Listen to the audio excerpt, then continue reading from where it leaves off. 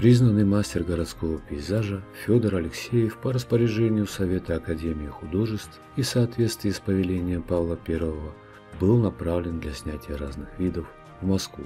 За полтора года, проведенные в Москве, художник написал целый ряд пейзажей, дающих представление о том, как выглядел город на рубеже 18-19 столетий.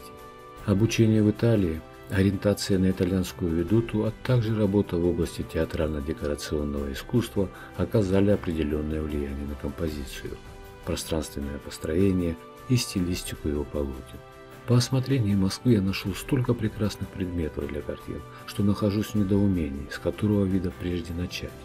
Должно было решиться, и я уже начал первый эскиз с площади с церкви Василия Блаженного. Зиму употреблю для писания картины. Писал Алексеев президенту Академии художеств Строганову.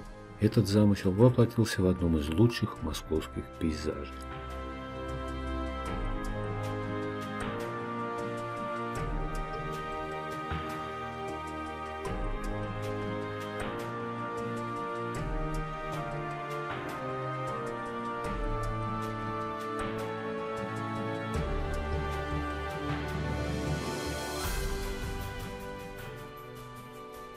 Картине запечатлен самый центр древней столицы.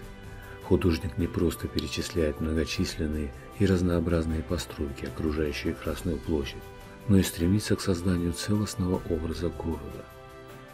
В центре площади Покровский собор, более известный как собор Василия Блаженного, сооруженный в XVI веке в память о покорении Казанского ханства.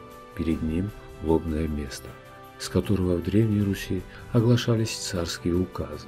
Правую часть картины замыкает Кремлевская стена и Спасская башня, над воротами которой помещена большая икона Спасителя. К Спасским воротам ведет мост, на котором в начале XIX века располагались книжные лавки. Справа от башни за стеной поднимаются главы Вознесенского монастыря. Слева виден шатер царской башни. Величественные памятники средневековой архитектуры – составляют уравновешенную замкнутую композицию. Солнечный свет, льющийся слева, окрашивает весь пейзаж в теплые золотистые тона.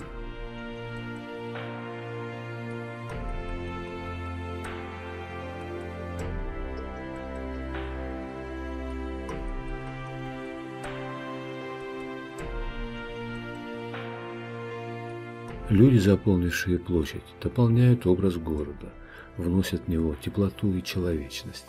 Внимательно оглядываясь в изображение многочисленных горожан, толпящихся на площади, можно представить внешний облик москвичей рубежа 18-19 столетий. Изображение карет, повозок, всадников на лошадях, собак – все кажется художнику важным для воссоздания атмосферы города. Художник настолько увлечен передачей своеобразия московского уклада жизни, что считает необходимым изобразить даже продукты, продающиеся в съестных лавках. На крюках подвешены окорока, колбасы, крестьянки торгуют яблоками.